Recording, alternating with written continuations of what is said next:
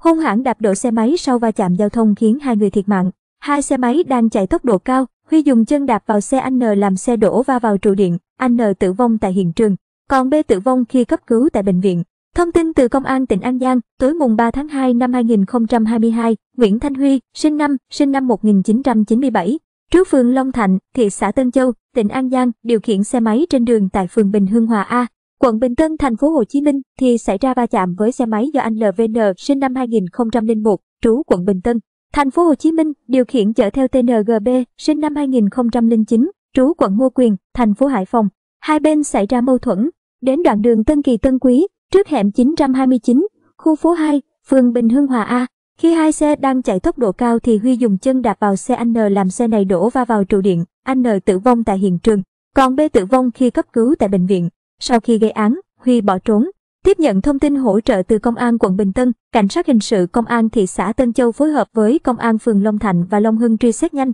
phát hiện bắt giữ Nguyễn Thanh Huy khi đối tượng đang lẩn trốn tại địa phương. Ngày mùng 6 tháng 2, Công an thị xã Tân Châu, tỉnh An Giang đã bàn giao Nguyễn Thanh Huy cho Công an quận Bình Tân, thành phố Hồ Chí Minh để tiếp tục điều tra về hành vi cố ý gây thương tích dẫn đến chết người. Tại cơ quan chức năng, Nguyễn Thanh Huy bước đầu đã thừa nhận hành vi phạm tội của mình.